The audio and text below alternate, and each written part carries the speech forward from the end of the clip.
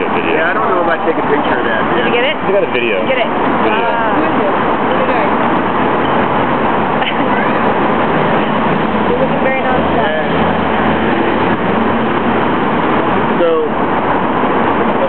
they probably wouldn't do very well in a, in a real firefight, but for here, they're, they would take something off your head.